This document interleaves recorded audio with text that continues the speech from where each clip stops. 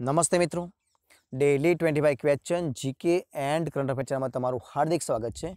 તો મિત્રો, આજે આપણે વિડીયોમાં જોવાના છીએ કે ધોરણ દસ વિષય સામાજિક વિજ્ઞાન છે મિત્રો.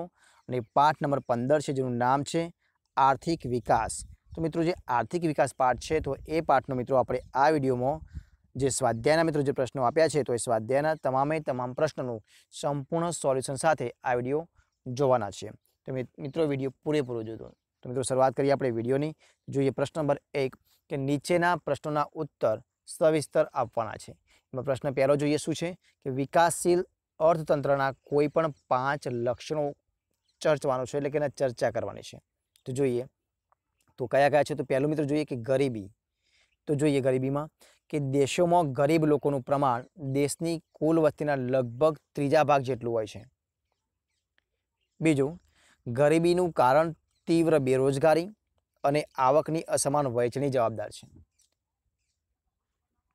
બીજો મુદ્દો જોઈએ કે નીચી માથાદીઠ આવક એ પણ છે. તો વિકાસશીલ અતંત્ર ધરાવતા દેશોની વસ્તી વૃદ્ધિનો દર ઊંચો હોવાથી માથાદીઠ આવક ઓછી હોય છે અને આને પરિણામે લોકોનું જીવન ધોરણ નીચું રહે છે. હવે જોઈએ આવકની વહેંચણીની અસમાનતા. ત્રીજો મુદ્દો. તો આ અસમાનતા ગ્રામીણ અને શહેરી બંને વિસ્તારોમાં પ્રવર્તે છે. રાષ્ટ્રીય આવક તેમજ ઉત્પાદનના સાધનોની માલિકી અને વહેંચણીમાં ઘણી અસમાનતા હોય છે.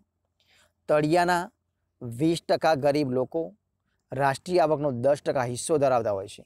જ્યારે દેશના વીસ ટકા ધનિક લોકો આવકનો ચાલીસ ટકા હિસ્સો ધરાવતા હોય છે. આ પણ એક મુખ્ય કારણ છે.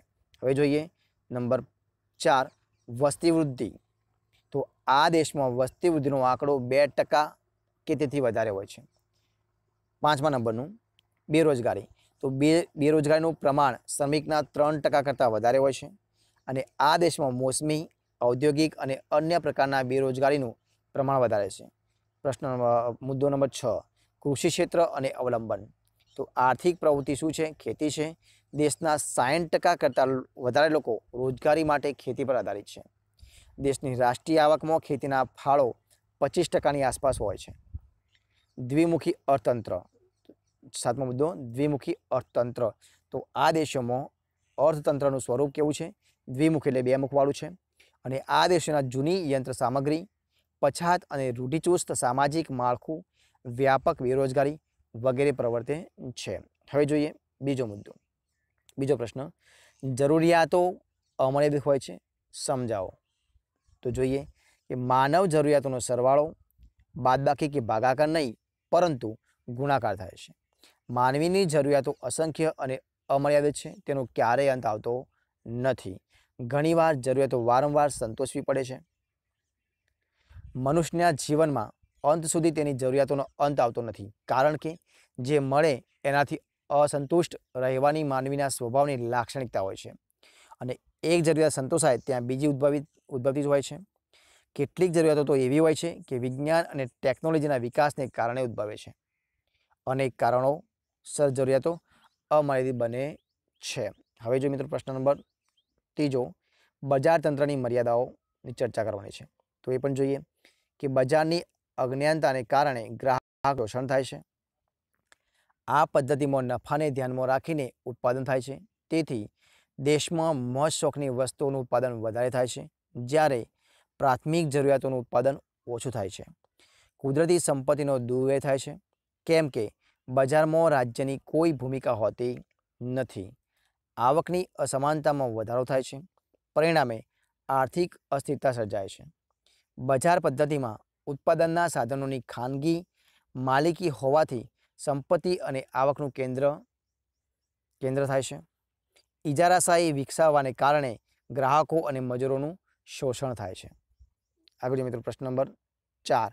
મિશ્ર અતંત્રમાં સાધનોની ફાળવણીની ચર્ચા કરવાની છે. તો એ પણ જોઈ લઈએ કે ઓછા જોખમી તથા ઓછું મૂડીરોકાણ ધરાવતા ઉદ્યોગો, વપરાશી વસ્તુનું ઉત્પાદન કરતા નાના એકમો વગેરે ખાનગી ક્ષેત્રમાં કે વ્યક્તિગત કરે છે. મિશ્ર અતંત્રમાં જાહેર અને ખાનગી ક્ષેત્રનું સહઅસ્તિત્વ હોય છે. જ્યારે ક્ષેત્રને સોંપવાની આવતી જવાબદારી પાયાની સવલતો, આંતરમાળખાનું નિર્માણ, ઔદ્યોગિક વિકાસ કરે છે. તાર, ટપાલ અને ટેલિફોન જેવી સંદેશા વ્યવહારની સેવાઓ, વીજળી, રેડિયો અને ટેલિવિઝન જેવી ટેલિવિઝન પ્રસારની મોટી સિંચાઈ યોજનામાં જેવી સેવાઓ વિકસાવવામાં આવે છે. એક સંયુક્ત ક્ષેત્ર પણ હોય છે, જેમાં જાહેર ક્ષેત્ર અને ખાનગી ક્ષેત્રના એકમો કામ કરે છે. દાખલા તરીકે માર્ગ પરિવહન, શિક્ષણ, આરોગ્ય વગેરે સેવાઓના ક્ષેત્રો છે. હવે મિત્રો જે પ્રશ્ન નંબર બીજો, નીચેના પ્રશ્નના ઉત્તર મુદ્દાસર લખો. તેમાં જોઈએ, પ્રશ્ન નંબર એક શું છે? કે ઉત્પાદનના સાધન તરીકે જમીન. તો જોઈએ, કે ઉત્પાદનનું કુદરતી સાધન જમીન છે, તે કુદરતી બક્ષિસ છે. મનુષ્ય દ્વારા તેનું ઉત્પાદન થઈ શકતું નથી. તેથી ઉત્પાદન ખર્ચ શૂન્ય છે. આગળ મુદ્દો, શું છે મુદ્દો આગળ? આ મુદ્દે જોઈએ આપણે આવી જોઈએ કે જમીનની ગતિશીલતા મર્યાદિત છે. એક ખેતરને બીજે સ્થળે લઈ જઈ શકાતું નથી.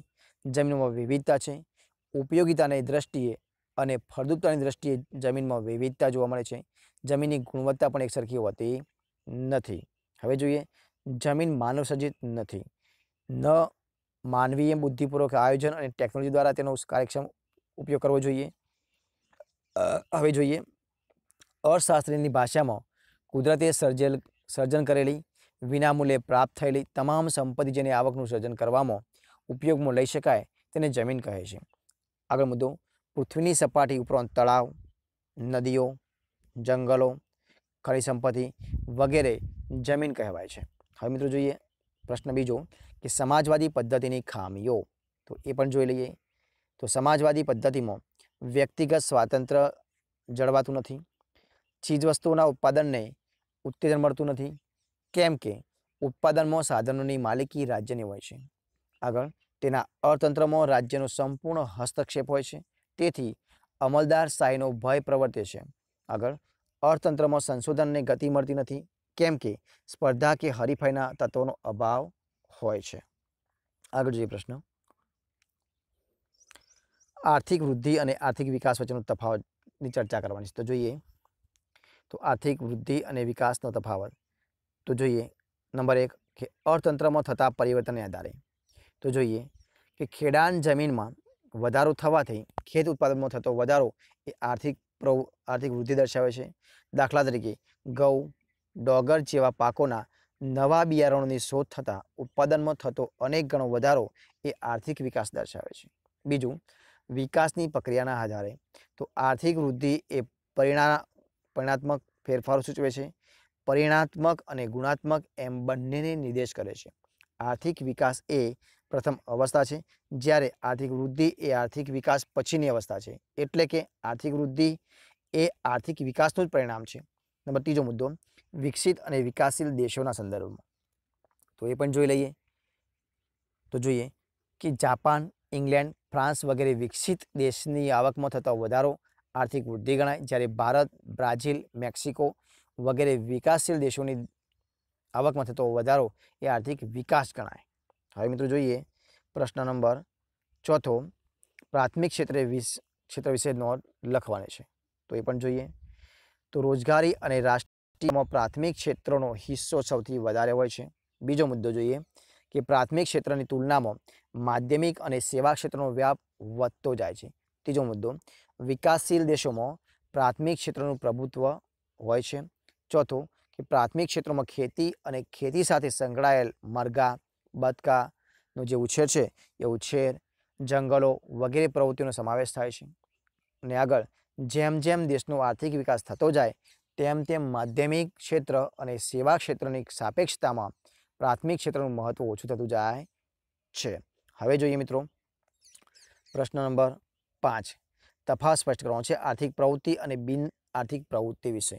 તો જોઈએ બંને તફાવત. તો આ બાજુ જોઈએ આપણે આર્થિક પ્રવૃત્તિ અને આ જોઈએ બિન આર્થિક પ્રવૃત્તિ.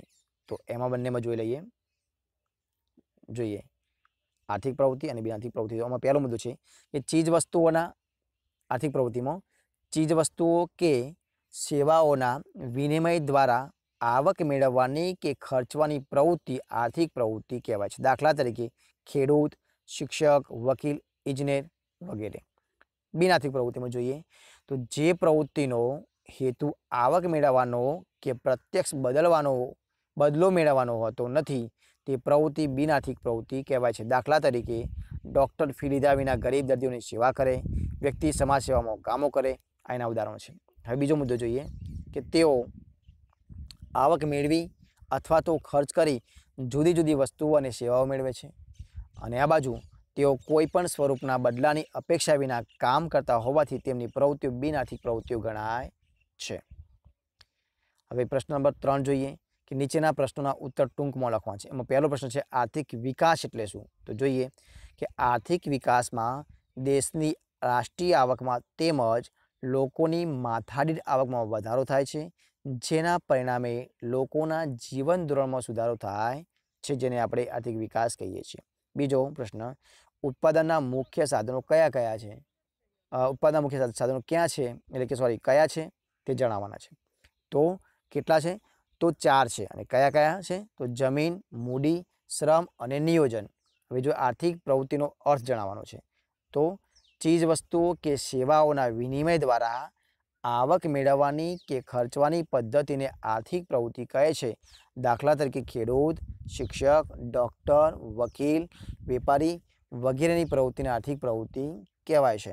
હવે જોઈએ પ્રશ્ન ચાર, ભારતે કઈ આર્થિક પ્રવૃત્તિ, પદ્ધતિ અપનાવી છે? તો મિશ્ર અર્થતંત્રની આર્થિક પદ્ધતિ ભારતે અપનાવી છે.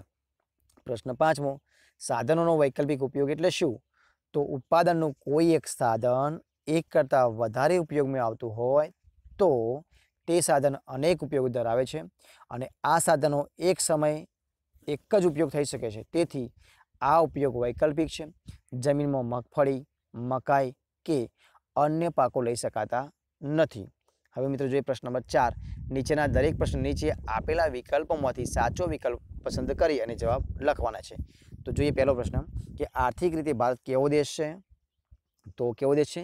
વિકસિત, પછાત, વિકાસશીલ કે ગરીબ? તો વિકાસશીલ દેશ છે, એટલે કે સી જવાબ ઓપ્શનમાં સાચો આવશે. બીજો પ્રશ્ન જોઈએ કે વિશ્વ બેંકના બે હજાર ચારના અહેવાલ મુજબ માથાદીઠ આવક કેટલા ડોલરની ઓછી હોય ડોલરથી ઓછી હોય તો તે વિકાસશીલ દેશ ગણાય છે. તો ચારસો એંસી ડોલર, પાંચસો વીસ ડોલર, સાતસો પાંત્રીસ ડોલર કે બસો પચાસ, તો સાતસો ને ડોલર કરતાં ઓછી હોય તો એ વિકાસશીલ ગણાય છે, એટલે કે સાતસો ને ડોલર. બરોબર છે? કઈ પદ્ધતિને મુક્ત અતંત્ર કહે છે? તો સમાજવાદી પદ્ધતિ, મિશ્ર અતંત્ર, બજાર પદ્ધતિ કે એક પણ નહીં. તો આવશે બજાર પદ્ધતિ એટલે સી જવાબ સાચો છે. હવે જોઈએ આગળ. પશુપાલન વ્યવસાયનો સમાવેશ અર્થતંત્રના કયા વિભાગમાં કરવામાં આવે છે? તો માધ્યમિક, પ્રાથમિક, સેવા ક્ષેત્ર કે આપેલ ત્રણે તો પ્રાથમિકમાં એટલે બી જવાબ સાચો છે. તો મિત્રો આ રીતે મિત્રો જે આપણો વીડિયો છે એ મિત્રો આપણે વીડિયો સંપૂર્ણ સ્વાધ્યાયનું સોલ્યુશન આપી અને આ વીડિયો આપણે અહીંયા પૂરો કરીએ છીએ. તો મિત્રો જો તમને વીડિયો ગમ્યો હોય, સ્વાધ્યાયના સંપૂર્ણ પ્રશ્ન સોલ્યુશન ગમ્યું હોય, તો વિડીયોને લાઇક કરો, કોમેન્ટ કરો, તમારા મિત્રોને વીડિયો શેર કરો અને છેલ્લે ચેનલમાં નવા હોય, ચેનલ સબસ્ક્રાઈબ ન કરી હોય, તો એને સબસ્ક્રાઈબ કરવાનું ભૂલવાનું નથી. તો મિત્રો વીડિયો પૂરેપૂરો જોવા બદલ તમારા બધા મિત્રોનો દિલથી ખૂબ ખૂબ આભાર.